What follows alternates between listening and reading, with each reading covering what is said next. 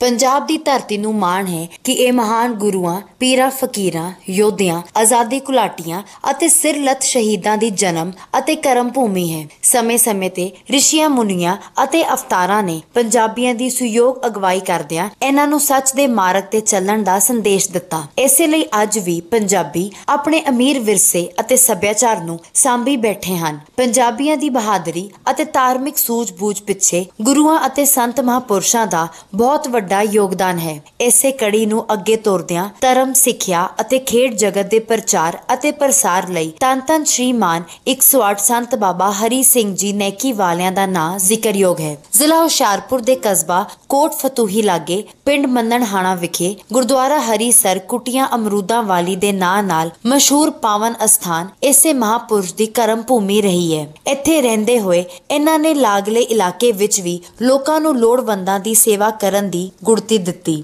ਸੰਤ ਬਾਬਾ ਹਰੀ ਸਿੰਘ ਜੀ ਨੈਕੀ ਵਾਲਿਆਂ ਦੇ ਬ੍ਰਹਮਲੀਨ ਹੋਣ ਪਿੱਛੋਂ ਇਹ ਸੇਵਾ ਸੰਤ ਬਾਬਾ ਬਲਵੀਰ ਸਿੰਘ ਜੀ ਅਤੇ ਸੰਤ ਬਾਬਾ ਜਸਵੰਤ ਸਿੰਘ ਜੀ ਨੂੰ ਸੌਂਪੀ ਗਈ। ਇਹਨਾਂ ਸੰਤ ਮਹਾਪੁਰਸ਼ਾਂ ਨੇ ਆਪਣੇ ਵਿਰਸੇ ਨੂੰ ਸੰਭਾਲਦੇ ਹੋਏ ਪਛੜੇ ਇਲਾਕੇ ਵਿੱਚ ਲੜਕੀਆਂ ਨੂੰ ਉੱਚ ਸਿੱਖਿਆ ਦੇਣ ਦਾ ਬੀੜਾ ਚੁੱਕਿਆ ਅਤੇ ਸੰਗਤ ਦੇ ਸਹਿਯੋਗ ਸਦਕਾ ਲੜਕੀਆਂ ਲਈ ਸਕੂਲ ਅਤੇ ਕਾਲਜ ਸ਼ੁਰੂ ਕਰਵਾਇਆ, ਜੋ ਅੱਜ ਇਲਾਕੇ ਦਾ ਨਾਮੀ ਕਾਲਜ ਬਣ ਚੁੱਕਾ ਹੈ। ਇਸੇ ਤਰ੍ਹਾਂ ਲੋਕਾਂ ਨੂੰ ਦੂਸਰੇ ਧਰਮਾਂ ਦਾ ਸਤਿਕਾਰ ਕਰਨ ਅਤੇ ਆਪਣੇ ਧਰਮ ਵਿੱਚ ਪਰਿਪੱਕ ਰਹਿਣ ਦਾ ਸੁਨੇਹਾ ਦੇਣ ਲਈ ਗੁਰਦੁਆਰਾ ਹਰੀਸਰ ਮੰਨਨਹਾਣਾ ਦਾ ਨਿਰਮਾਣ ਕਰਵਾਇਆ। ਜਿੱਥੇ ਸਾਰਾ ਸਾਲ ਜੁਗੋ ਜੁਗ ਅਟਲ ਸਾਹਿਬ ਸ੍ਰੀ ਗੁਰੂ ਗ੍ਰੰਥ ਸਾਹਿਬ ਜੀ ਦੀ ਪਵਿੱਤਰ ਬਾਣੀ ਦੇ ਅਖੰਡ ਪਾਠਾਂ ਦਾ ਪ੍ਰਵਾਹ ਚੱਲਦਾ ਰਹਿੰਦਾ ਹੈ। ਨੌਜਵਾਨੀ ਨੂੰ ਨਸ਼ਿਆਂ ਤੋਂ ਦੂਰ ਰੱਖਣ ਅਤੇ ਸਰੀਰਕ ਤੰਦਰੁਸਤੀ ਦੀ ਮਹੱਤਤਾ ਸਮਝਾਉਣ ਲਈ ਪਿਛਲੇ 29 ਸਾਲਾਂ ਤੋਂ ਅੰਤਰਰਾਸ਼ਟਰੀ ਪੱਧਰ ਦੀਆਂ ਕੁਸ਼ਤੀਆਂ ਕਰਵਾਉਣ ਦਾ ਸਹਿਰਾ ਵੀ ਇਹਨਾਂ ਮਹਾਨ ਸੰਤ ਮਹਾਪੁਰਸ਼ਾਂ ਦੇ ਹੀ ਹਿੱਸੇ ਆਉਂਦਾ ਹੈ। ਸਿਹਤ ਸਹੂਲਤਾਂ ਪ੍ਰਦਾਨ ਕਰਨ ਲਈ ਇੱਕ ਆਲੀਸ਼ਾਨ ਸਿਹਤ ਕੇਂਦਰ ਵੀ ਇਲਾਕੇ ਲਈ ਵਰਦਾਨ ਸਾਬਤ ਹੋ ਰਿਹਾ ਹੈ, ਜਿੱਥੇ ਮੁਫਤ ਨਾਲ ਦੀਆਂ ਸੇਵਾਵਾਂ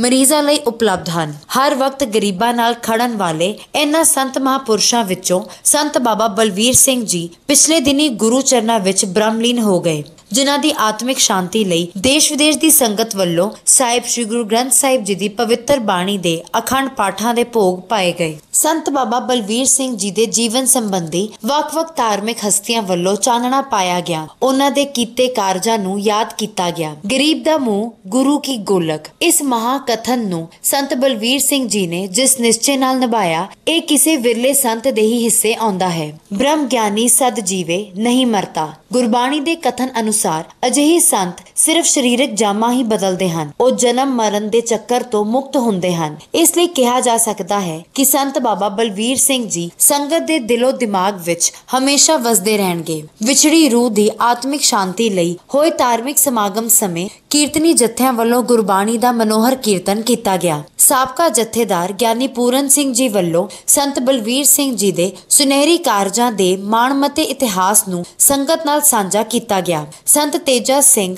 ਖੁੱਡਾ ਵਾਲਿਆਂ ਨੇ ਸੰਤ ਬਲਵੀਰ ਸਿੰਘ ਜੀ ਦੇ ਜੀਵਨ ਦੀ ਇੱਕ ਦਰਵੇਸ਼ ਸਾਧੂ ਨਾਲ ਤੁਲਨਾ ਕੀਤੀ, ਜੋ ਸਾਰੀ ਉਮਰ ਦੂਸਰਿਆਂ ਲਈ ਕਾਰਜਸ਼ੀਲ ਰਿਹਾ। ਸੰਤ ਸਵਰਨ ਸਿੰਘ ਚੰਡੇਰ ਮਹਾਪੁਰਖਾਂ ਨੇ ਮੰਚ ਤੋਂ ਬੋਲਦਿਆਂ ਕਿਹਾ ਕਿ ਸੰਤ ਬਲਵੀਰ ਸਿੰਘ ਨੇ ਸਾਦਾ ਤੇ ਸੰਜੀਦਾ ਜੀਵਨ ਗੁਜ਼ਾਰ ਕੇ ਸਾਬਤ ਕਰ ਦਿੱਤਾ, ਨਾ ਕੋ ਵੈਰੀ, ਨਾ ਹੀ ਬੇਗਾਨਾ। ਸੰਤ ਭਾਗ ਸਿੰਘ ਕਜਲਾ ਵਾਲਿਆਂ ਨੇ ਸੰਤਾਂ ਦਾ ਹਵਾਲਾ ਦਿੰਦੇ ਹੋਏ ਕਿਹਾ ਕਿ ਸੰਤਾਂ ਨੂੰ ਜ਼ਿੰਦਗੀ ਭਰ ਜੋ ਵੀ ਮਿਲਣ ਆਇਆ ਉਸ ਨੂੰ ਬੜੇ ਪਿਆਰ ਨਾਲ ਸੁਣਿਆ ਅਤੇ ਹਮੇਸ਼ਾ ਚੜ੍ਹਦੀ ਕਲਾ ਦਾ ਧਾਰਨੀ ਬਣਾ ਕੇ ਤੋਰਿਆ। ਸਵਾਮੀ ਗਿਆਨਦੇਵ ਸਿੰਘ ਜੀ ਹਰਿਦੁਆਰ ਵਾਲਿਆਂ ਨੇ ਸੰਤ ਬਲਵੀਰ ਸਿੰਘ ਜੀ ਦੀ ਸਮੁੱਚੀ ਜ਼ਿੰਦਗੀ ਤੋਂ ਸੇਧ ਲੈਣ ਦੀ ਗੱਲ ਆਖੀ। ਇਸੇ ਤਰ੍ਹਾਂ ਹੋਰ ਸੰਤ ਮਹਾਪੁਰਸ਼ਾਂ ਨੇ ਵੀ ਸੰਤ ਬਾਬਾ ਬਲਵੀਰ ਸਿੰਘ ਜੀ ਨੂੰ ਸ਼ਰਧਾਂਜਲੀ ਭੇਂਟ ਕੀਤੀ। ਸੈਂਕੜਿਆਂ ਦੀ ਗਿਣਤੀ ਵਿੱਚ ਪਹੁੰਚੇ ਸੰਤ ਮਹਾਪੁਰਸ਼ਾਂ ਵਿੱਚੋਂ ਸੰਤ ਕਸ਼ਮੀਰ ਸਿੰਘ ਕੋਟ ਫਤੂਹੀ ਸੰਤ ਸੰਤੋਖ ਸਿੰਘ ਪਾਲਦੀ ਸਿੰਘ ਸਾਹਿਬ ਗਿਆਨੀ ਸੁਖਵਿੰਦਰ ਸਿੰਘ, ਸਵਾਮੀ ਸ਼ੰਕਰਾਨੰਦ ਪਰਬਤ, ਸੰਤ ਰਣਜੀਤ ਸਿੰਘ ਬਾਹੋਵਾਲ, ਸੰਤ ਪਾਲ ਸਿੰਘ ਲੋਹੀਆ, ਸੰਤ ਗੁਰਬਚਨ ਸਿੰਘ ਪਟਲਾਵਾ,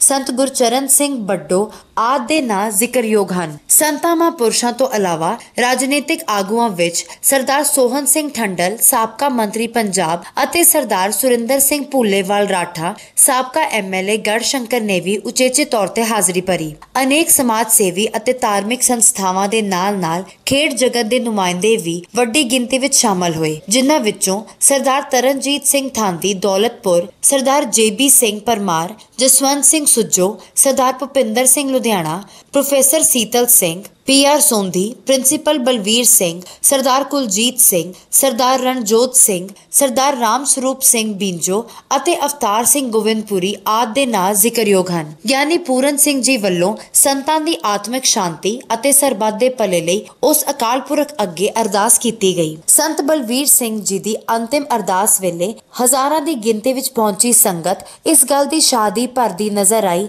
ਕਿ ਸੰਤ ਦੇਸ਼ ਵਿਦੇਸ਼ ਦੀ ਸੰਗਤ ਨੂੰ ਕਿੰਨਾ ਪਿਆਰ ਕਰਦੇ ਸਨ।